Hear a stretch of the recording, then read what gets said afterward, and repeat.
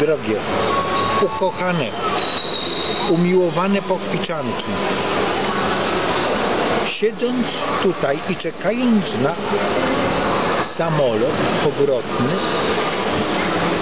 oświeciło mnie słonko, także aż poraziło w oczy i nie tylko. Drogie, kochane pochwiczanki, dotarło do mnie przed chwilą, że pochwica jest to po prostu lęk. Jest to tylko i wyłącznie lęk. Ale nie jest to lęk przed penisem, przed tym potwornym, ogromnym, strasznym członkiem. Nie, bez przesady.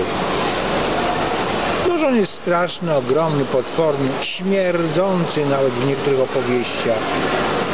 Ale bez przesady, on nie jest taki straszny. Pochwica jest to lęk przed własnym ciałem, nie przed partnerem, nie przed facetem, ale to jest lęk przed własnym ciałem. Pochwica to jest sytuacja, w której kobieta boi się swojego ciała, reakcji tego ciała, a w ogóle to to ciało traktuje tak po macoszemu.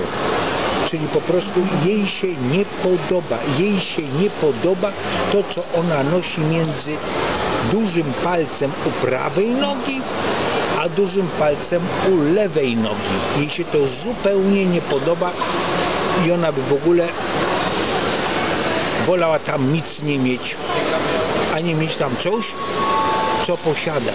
A co posiada, to ona nie wie i się nie chce dowiedzieć. To się nazywa właśnie pochwica. No. Wszystkiego dobrego, wesołych świąt, wesołych świąt.